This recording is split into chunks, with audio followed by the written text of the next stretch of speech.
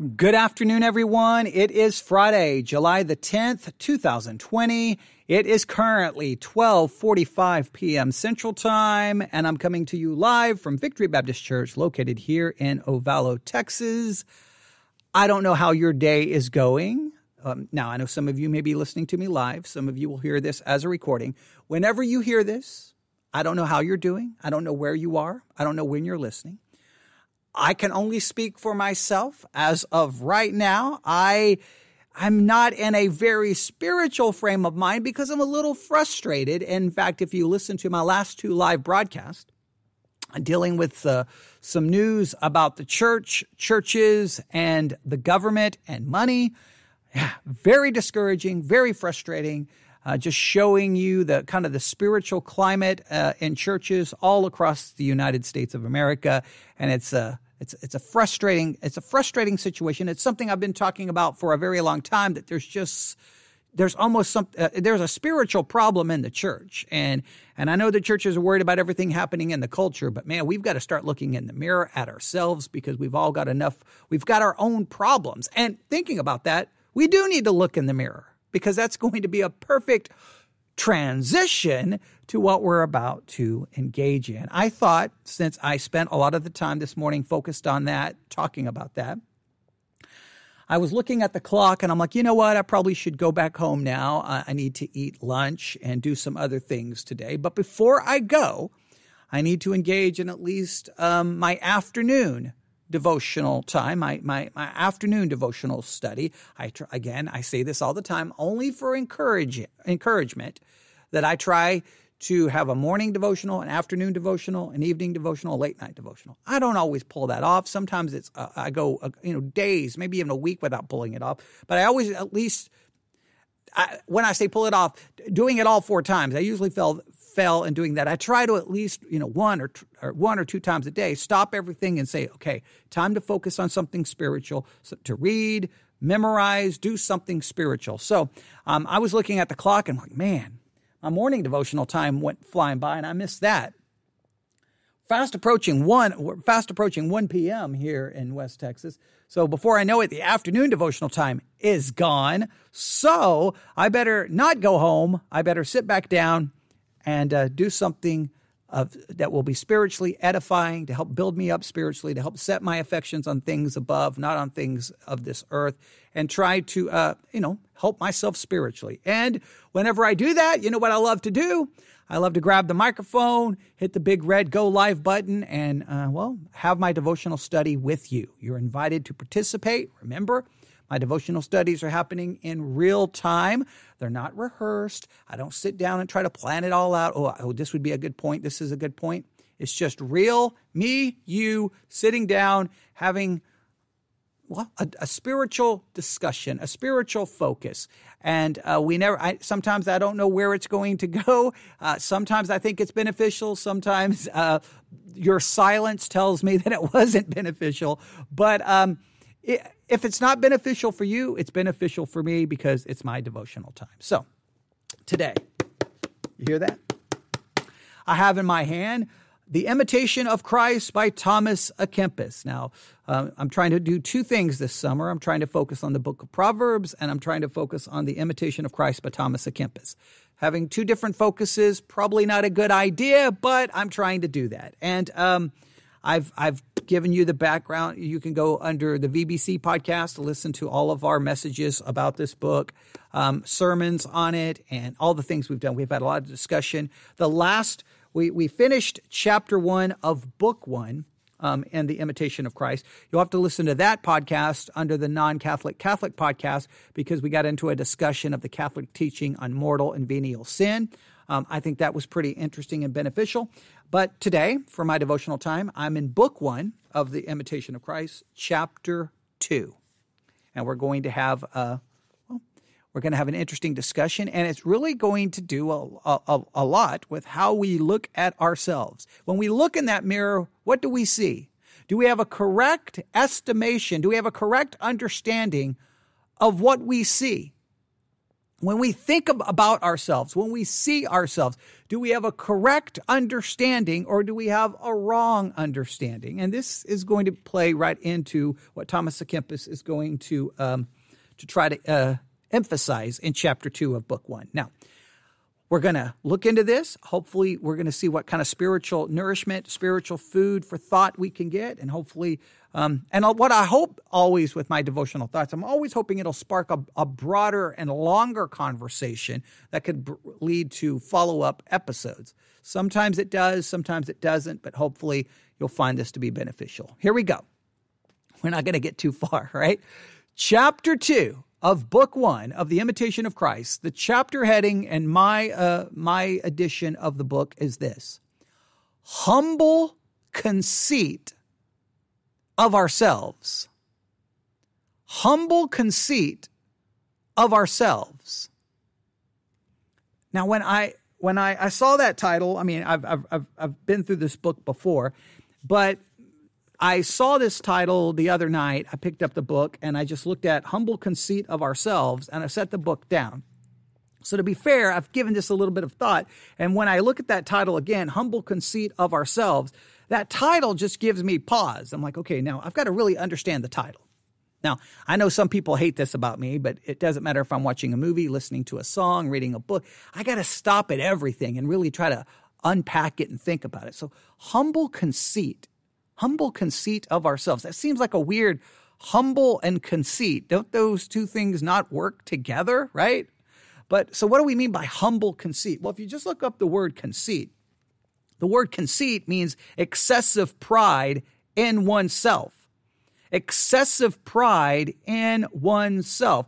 So conceit is typically how one views themselves how they view themselves and they view themselves if you're if you have conceit with excessive pride in oneself so what thomas à kempis seems to be saying at least to me that we need to have a humble conceit a humble estimation of ourselves. We need to see ourselves through the lens of humility. We need to have a humble understanding of ourselves, a, a humble perception of ourselves. We don't need to be filled with self conceit. We need to be filled with a humble estimation, a humble perception of self. Now, here's the thing what is required to have a humble conceit, a humble perception, a humble estimation of yourself. What is required? Now, I believe theologically, this can be, I think this can be demonstrated. The only way to have a correct estimation of yourself, the only way, and you, and people of Victory Baptist Church know what I'm going to say. People have listened to this podcast for any length of time know what I'm about to say. The only way you can see yourself as you truly are is to see God as he truly is. The only way to truly see yourself as you really are, a correct, humble estimation of self, is to see God as he truly is. Because once you see God high and lifted up, holy, holy, holy, you know I'm referencing Isaiah chapter 6. When Isaiah saw God high and lifted up upon his throne, holy, holy, holy. Then Isaiah then saw himself as he truly is. And, and when he saw God as he truly is, then he could understand himself as he really was. And guess what Isaiah said? Woe is me. A prophet pronounced a curse upon himself. Woe is me. I am undone. He understood that he was unclean. He understood he dwelt among a people who were unclean. He understood his spiritual depravity. He understood he was bankrupt before God. He was helpless and hopeless before God. He finally saw himself as he truly was by seeing God as he truly is. I cannot express that enough. So this is an important chapter. Humble conceit of ourselves. We need that. We need a humility and I know we live in a culture that's all about self esteem, self esteem, self esteem, self esteem, self esteem. And the church bought into that uh, for a very long time. The church kind of changed its message. You know, hey, you got to see yourself, you got to see yourself and give us all these ways to see yourself to kind of build your self esteem up. But we need a humble estimation of ourselves. Now, we could argue if there's if there's an extreme one way or the other, but but for now, our focus is do you see yourself through the lens of humility? Do you see yourself that way? All right? If you do, it's going to have a profound impact on your life. You're not going to be looking at, you're not going to be worried about, I mean, uh, it's just going to change everything. We, we could get into a whole discussion there. But let's see what Thomas Kempis has to say, right? Humble conceit of ourselves. So there's a little breakdown of the title, all right? Let's see how far we can get. According to Thomas Kempis, every man naturally desires to know, but what does knowledge avail without the fear of God? That's a very important question. What advantage, what does knowledge truly give you? What advantage to, do you gain from knowledge?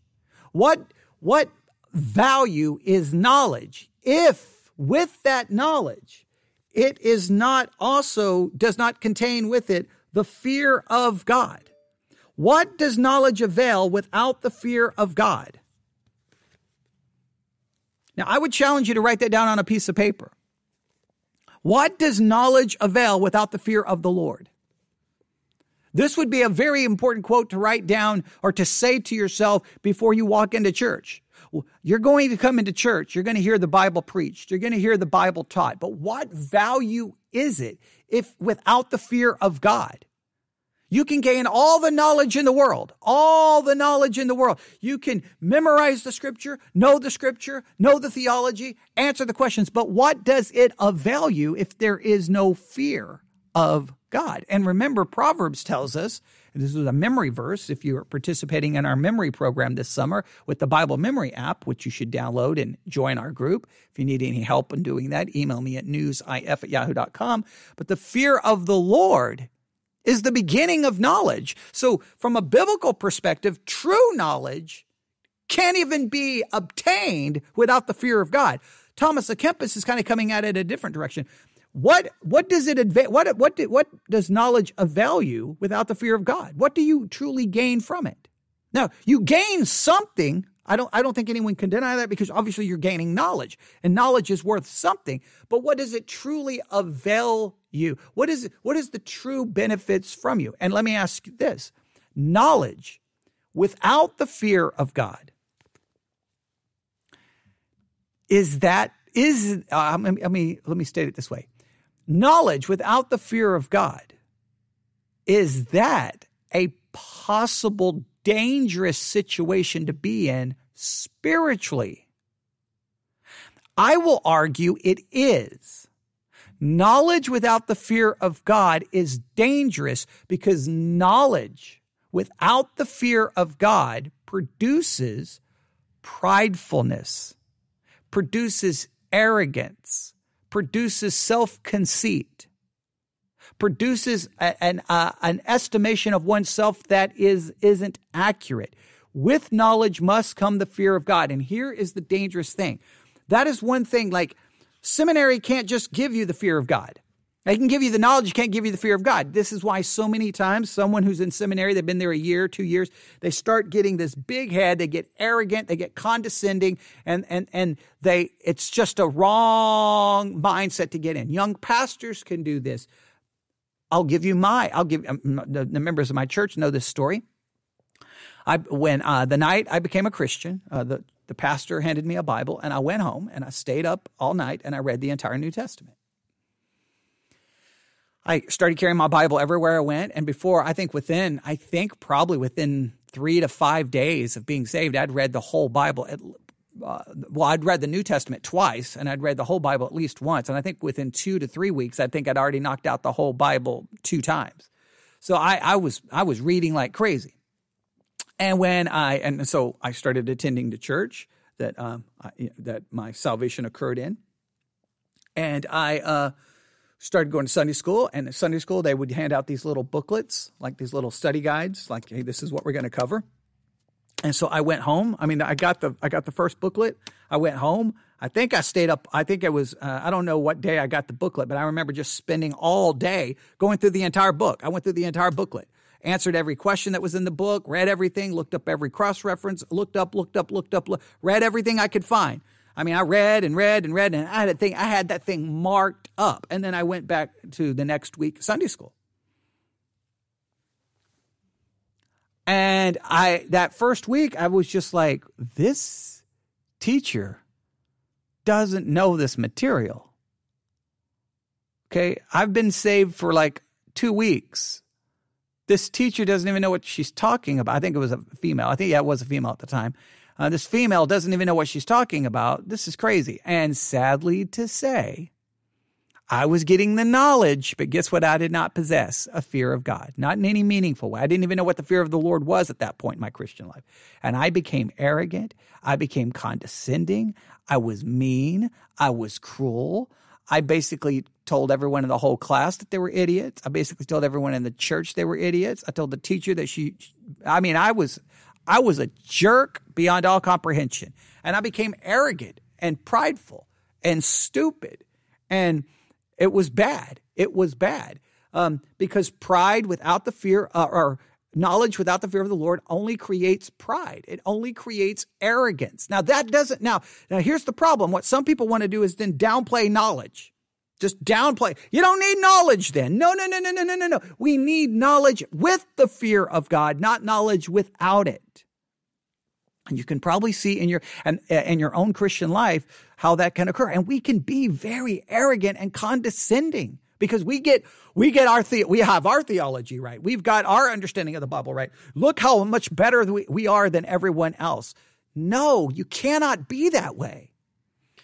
True humility is when you are more aware of your own flaws, your own failure, your own ignorance than you are of anyone else's. True humility is where you see yourself first before you see anyone else, before you even consider anyone else. But what happens when you have knowledge without the fear of God? You have that knowledge, and guess what you see? You see that knowledge in light of everyone else. You see everyone else first. And then you want to let everyone know how much you know. You want to let everyone know how little they do know. And then that's a bad thing. And, and this, that is arrogance. That's condescending. And uh, let me make it clear. I think um, I think sometimes th- there there's another way this works, and and I and and I, I know Thomas Kempis is probably not going in this direction, but well, well, I just want you to consider this. I think there's another danger. I think some people are so worried about how they are perceived in the they they don't want to be viewed they don't want to be viewed from a position of humility in the eyes of other people. They want other people to perceive them with, in a sense, with self self conceit. Right. Uh, now, try to stay with me because I don't want to lose you here, but this is a very important thought. When you worry about how, uh, there's there's the idea of perceiving yourself with humble conceit, that you see yourself through the lens of humility. You see yourself humbly. You see yourself the, the right way. You see yourself in light of God. You see yourself in the reality of who you are. That's self perception. But we can sit there and we can be so worried about how other people perceive us, and we want other people to perceive us not with humble conceit. We want other people to perceive us with self conceit. We want other people to, to see us and, and, and to see us as larger than we are, better than we are, smarter than we are, funnier than we are. We want other people to perceive us larger in the best way possible. And listen, that's a form, that's a form of conceit and arrogance, even though you don't realize it, because you'll, you will, you will not say things. You will not do things because you worry about how other people perceive you. That is an arrogance on your part because you want everyone to perceive you in a certain way. That's because you are preoccupied with yourself. You're so preoccupied with yourself and you're so, and when it comes to other people, all you worry, you're not worried about other people. You're no, you're not concerned with other people. You see other people only through the value that they can give you by how they perceive you. And you'll see this sometimes. People will be afraid to answer a question because they may look dumb. Why are you wor- answer the question because it's about learning and it's about growing and it's about understanding. Who cares if you're wrong? But no, no, no. You want everyone to perceive you a certain way. You're not going to do this because people may think you look dumb. You're not going to do this because people may, you may think people look foolish.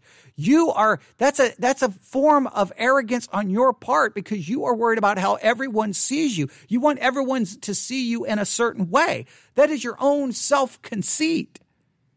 You're more worried about look, you're more worried about how that person sees you than you are worried about that person. You are more worried about how that person sees your value than you seeing the value in that person. Right? This is this has got some major ramifications here for our spiritual life. So every man naturally desires to know, but what does knowledge avail without the fear of God? Well, what, this knowledge just creates all of this prideful position that we we we find ourselves in over and over and over again. Better now, this is what he says better surely is a humble laborer who serves God than a proud philosopher who, neglecting himself, studies the course of the heavens. Now he's saying it would be better, it's better to be a, a, a, humble laborer who serves God than the proud philosopher who neglects himself and studies the course of the heavens.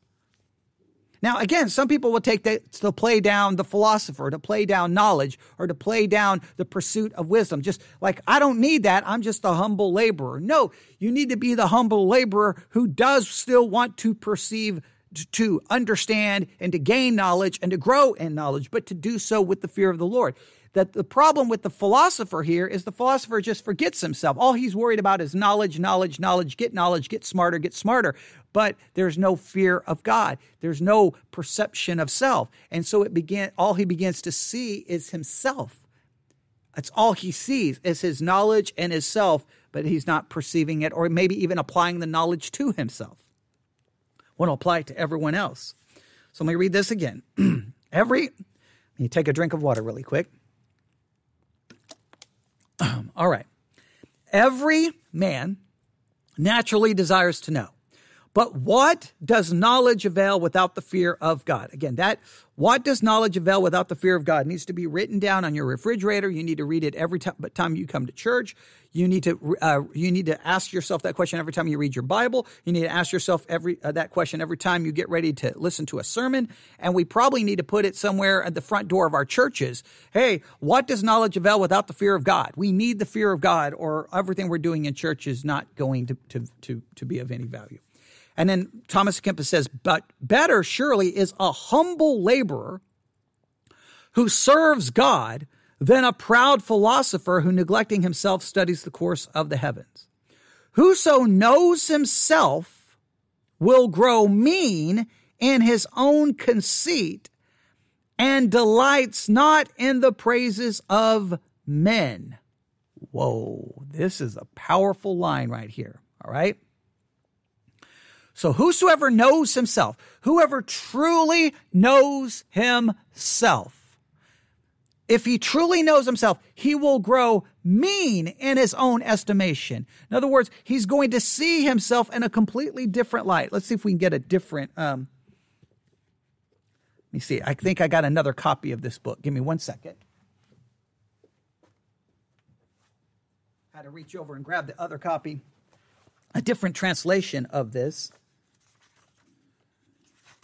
And I think I have uh, Sarah Danzler's uh, book. So, hey, Sarah Danzler, I'm using your book. So, all right, here we go. And she's got notes in here. I love when I see people in my church highlighting things and writing notes. That's really good. That's good stuff. All right. Okay, good. All right, all right. Here we go. Of thinking humbly of oneself. This is how this translation puts it. There is, there is naturally in every man a desire to know but what profit what profiteth knowledge without the fear of God? Better of a surety is a lowly peasant who serveth God than a proud philosopher who watcheth the stars and neglected the knowledge of himself. Right? So that's the thing. He, he forgets to know himself. He, he's, he's learning, learning, learning, but he's not learning to know himself. He's not, because you can't know yourself without the fear of God. He who knows himself, listen, he who truly knows himself, he who true he who knows himself well is vile in his own sight. He who knoweth himself well is vile in his own sight. If you truly know yourself, you will perceive yourself as vile. You will, per- you will perceive yourself as broken. You will perceive yourself as defiled, as corrupt. You will see yourself as you truly are. Not the, not the mask you put on to convince everyone else how wonderful you are. If you know yourself, truly know yourself, man, you are going to see yourself in a way that's not going to be pretty. You're going to see yourself in a, in a way that you're going to realize how bad you are. And once you realize how bad you are, you're going to run somewhere for help. And that means you're going to run to Christ and his death. And then you're going to say that what my identity cannot be in who I am. I need a new identity and it's who I am in Christ. Now I've got to see myself that way. But Thomas à Kempis is not going there right now. He's saying, though, if you truly know yourself, you're going to be vile in your own sight. You're going to be vile in your own estimation. You're going to perceive yourself to be vile. So let me ask you do you truly know yourself? And guess what? You can't know yourself. You can't see yourself until you truly understand God. You've got to understand God before you can know yourself. You, that's why you have to have the fear of the Lord because fear of God comes from a knowledge of who God is. It all goes back to that. Right? And then he goes on to say in this translation, he who, he who knoweth himself well is vile in his own sight, neither regardeth he the praise, uh, praises of men. Now, do you regard the praises of men? Do you regard it? My other translation, how did they put it? Um, delights not in the praises of men. If you truly, if you truly look, the way Thomas à Kempis is working this out for us is this way. First of all, this is very important. Hey, what profit is knowledge without the fear of the Lord? It is of no value. It is of no value. If you don't fear God, knowledge is just going to puff you up and make you arrogant. And then we talked about some of the issues with pride. All right, very important. Then he goes on to say that it's better to be a humble laborer who serves God than a proud philosopher who, neglecting himself or who doesn't know himself, studies the course of heaven. It's better to be humble and know yourself than to be supposedly smart and a philosopher but not know yourself. Why? Because whoever knows himself, look, will grow vile in his own conceit and his own perception. He will see himself as vile, as broken. Now, again, you can't know yourself without fearing God, and you can't fear God without knowing who God is. So that's why our, our focus has to be on God. Has to be not on ourselves. It has to be on God. It has to be on God. Then we see God as He is. Then I can see myself as I truly am. That's the way it works. And then once I know myself as I truly am, I will grow vile in my own sight. And then here is the part that you really have to ask yourself Will delight not in the praises of men? Delights not in the praises of men. Wow. Now, there is no question the Bible emphasizes humility. That God resisteth the proud, He gives grace to the humble. If you talk about the things that God hates, He hates a proud look. God hates the proud, He hates pride, He resisteth the proud, the proud. He hates it, stands against it. Pride is evil, pride is a sin. We need humility. We are told to humble ourselves before God. This is the biblical biblical idea, right? Now, I would challenge you if you want a little study to do this summer. Uh, you should do a, a study on pride and a study on humility, right? You, in fact, let's just let me see what happens here. Let me see. Um, we probably have to figure out how, different ways to look this up. I'm going to the Blue Letter Bible app. If I type in humble, That's just the book of Proverbs. Let me go to the whole Bible. Humble. Um, humble occurs 24 times in the King James. All right? So 24 times the word humble. Let me go to, let me type in humil- humility. Humility occurs seven times. So humble, humility, that you can look those up without any any difficulty. All right, let me look up uh, pride. Pride occurs 46 times. So it would take a little bit of work, but humility and pride, humility and pride. We, we, you really should look up all the verses where the word humble or humility shows up, all the word where pride or, or proud shows up. I didn't look up proud and, and create a, a, a, a right, get a piece of paper. You'll, you'll, you'll have one piece of paper just for, just for humility. Obviously it'd be a, a section. It's not going to just do it on one page You'll have a couple of pages of everything the Bible talks about in as far as being humble or, hum, or and, and speaking of humility.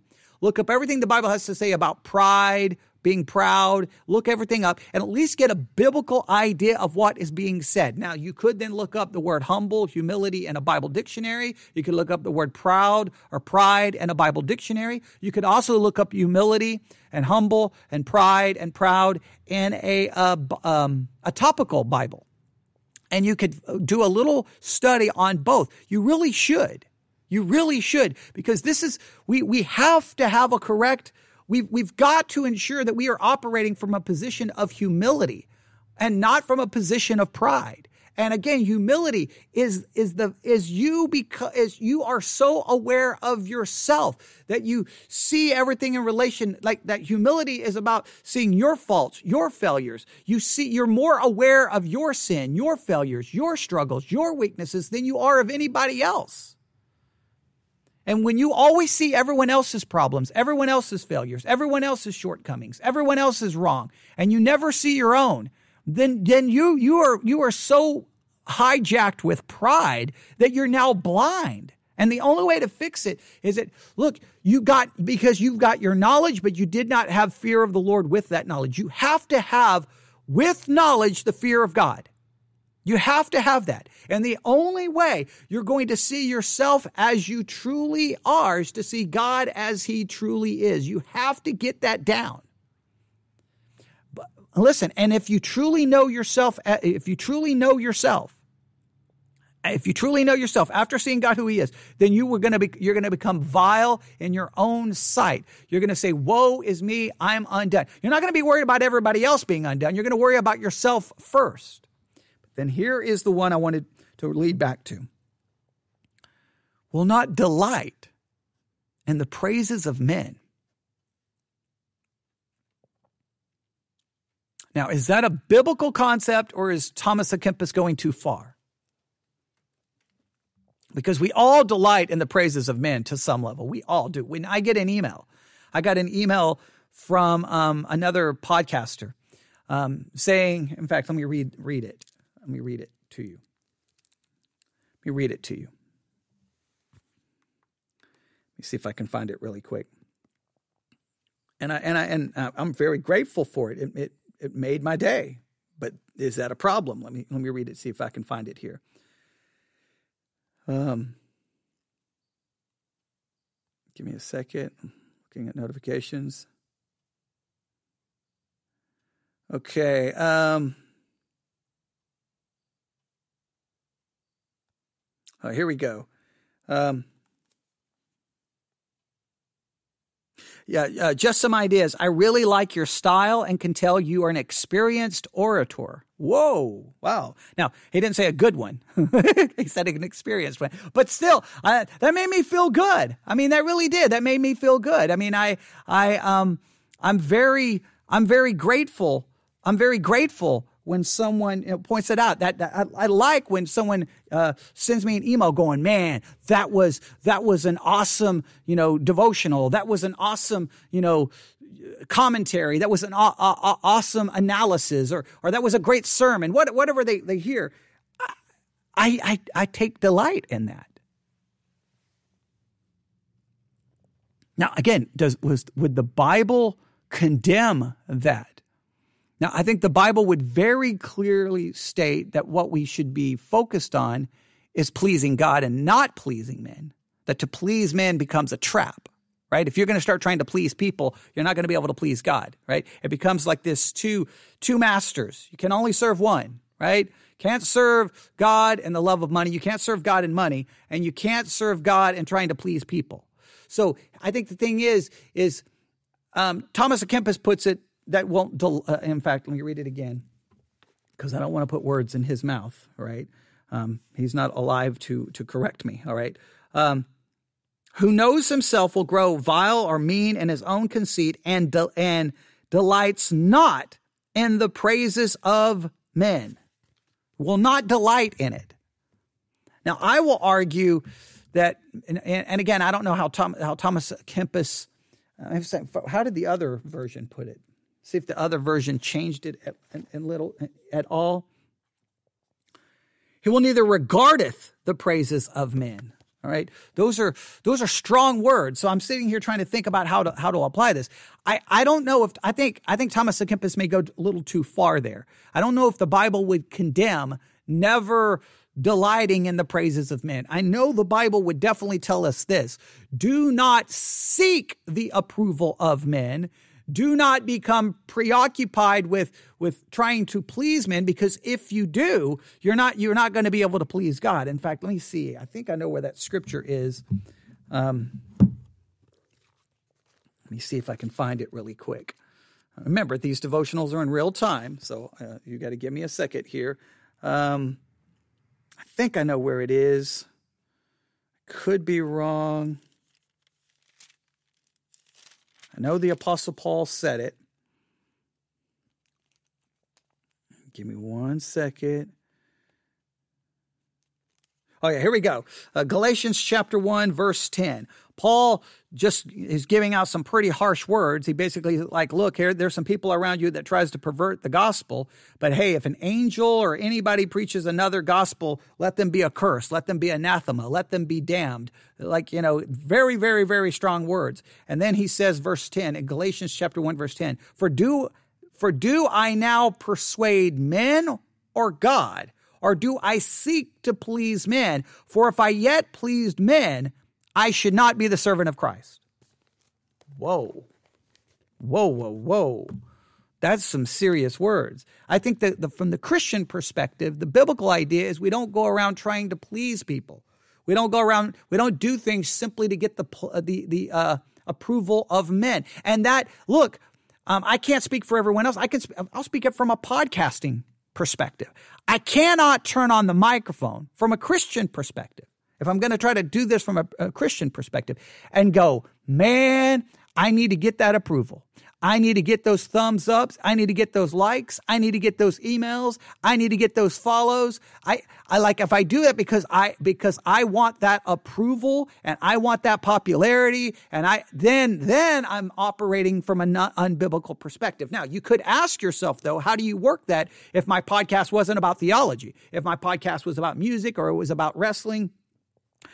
If, if would would it be would it be wrong for me doing all of those things trying to get the approval of men wanting that approval wanting that praise?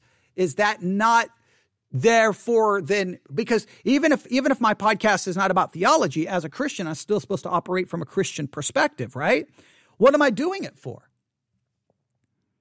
Is that is is those is the praise of men is their praise that means obviously i'm, I'm pleasing them some way does that begin to lead to me having a wrong estimation of self? Does that begin to increase a prideful, selfish, egotistical view of self, an arrogance?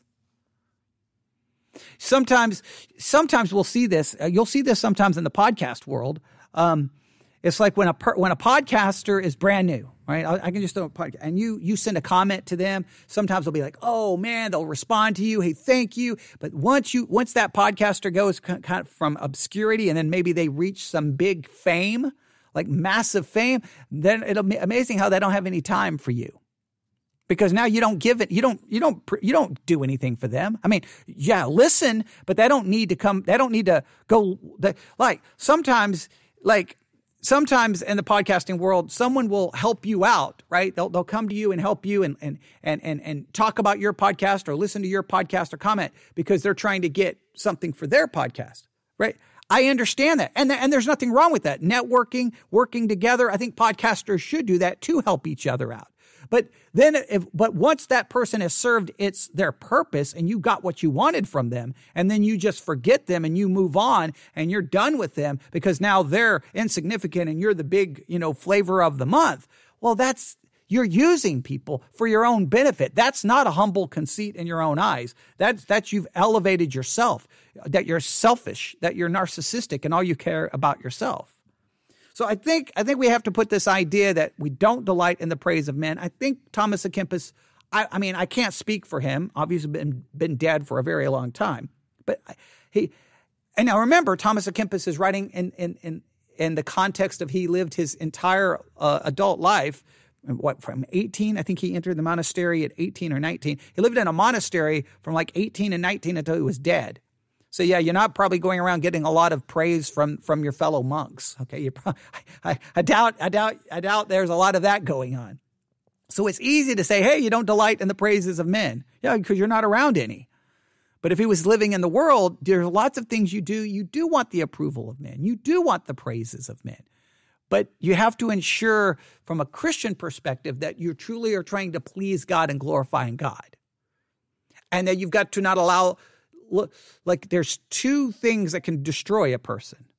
There, the, the attacks and the um, negativity and the discouragement of other people. Some people can say you're stupid, you're dumb, you're useless, and that can discourage you to you want to give up, and that can be very devastating to you spiritually speaking, because you'll either be filled with bitterness, anger, hatred, unforg- like that can have negative consequences. On the other side, this is very, very, very important. The praise of men can be just as devastating to you spiritually the negative things people say can be negative negative to you, but the the positive things people say to you can be can be uh, dangerous as well. Someone emailed me the other day and they said, you know, I wish I wish they had a minister like me when they were younger. And they said, you know, don't don't get a big head. Now they were joking; they were joking around. Uh, but when I saw that, I'm like, you know, yeah, um, I don't want to get a big head, and hopefully I never will. Hopefully, I will always see myself as nothing more than a vile sinner trying to figure out this whole Christian thing. And I'm trying to figure it out just like you. I don't have all the answers, and I stumble and I fall. I've made my mistakes, and and uh, yeah, I wish I look. There's a part of me that wishes everyone in the world had a positive out. Uh, perspective of me. And I, and I wish that I knew that there were people out there never saying negative things about me. I wish that to be true, but it's not. And I'm I'm the last person to really care about trying to please people, but I still don't like it because there's a little bit of that self ego, self pride that's in all of us. It's a part of our nature. It's a part of our sinful nature. The the very s the very easiest way to understand the sinful nature is just with one letter, I. Sinful nature is all about self. It's all about you. I, I, I, I, I, I, I. So, knowledge without the fear of the Lord will only make you proud and arrogant. You have to have it. You have to see God as He truly is to understand who you really are and see yourself correctly. And when you see God as He truly is, that will produce the fear of the Lord. And if you have the fear of the Lord and you see yourself as you truly are, then you will become vile in your own estimation. You'll see yourself the correct way. And then you will not you you will not be consumed and almost you will not be preoccupied with the praises of men. All right. Here's the thing. I think when you are preoccupied when you are preoccupied with the praises of men and you seek it and you need it and you desire it and you don't want to do anything that would possibly keep you from getting it, that is because you are filled with pride. You want, you are so needing your pride and ego to be fed. You see everyone else as simply instruments and tools to praise you so that you can get yourself exalted and lifted up. And then that's now, now that's viewing people not you're not viewing other people as valuable. You know, the value you see in other people is, is, what they can give you, not what you can do for them. That is completely an unbiblical way of seeing other people. All right, I'll stop right there. There's a lot there to unpack, a lot there to unpack. So here's what I'll do I'm going to read that whole section in this translation. All right.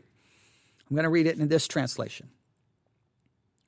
There is naturally in every man a desire to know, but what profiteth knowledge without the fear of God? Better of a surety is a lowly peasant who serveth God than a proud philosopher who watcheth the stars and neglecteth the knowledge of himself. He who knoweth himself well is vile in his own sight, neither regardeth he the praises of men. First par- part of the first paragraph of chapter 2, book 1 of the very famous book, book The Imitation of Christ by Thomas à Kempis. I would love to get your thoughts on all of this. Email me, newsif at yahoo.com, newsif at yahoo.com, newsif at yahoo.com, and please make sure that your email contains at least three praises of me. Tell me how wonderful I am. No, no, I just, I really just want your thoughts and I just want your feedback. That's what I want. Now, maybe I'm doing that for, because I want to feel better about myself. See? See, now I've got to even question everything I'm going to do now. Maybe I should just never, I don't know what I should do now. Okay. But struggle with me and try to figure it out because this has application to your life as well. All right. I'll stop right there. Everyone have a wonderful, wonderful day. Hey, during this crazy time of COVID 19, uh, cases are spiking all over the United States and death rates are going up and people are dying, people are suffering. Please pray for everyone. Look out for one another. If you know someone has a need, let me know and we'll see what we can do to try to alleviate that need. If there's anything I can do to help you spiritually, tell me what you need and I'll do what I can. Um, but uh, please pray. Pray for pastors. Pray for churches as they're trying to struggle and how to how to move forward in this crazy time that we live. All right. God bless.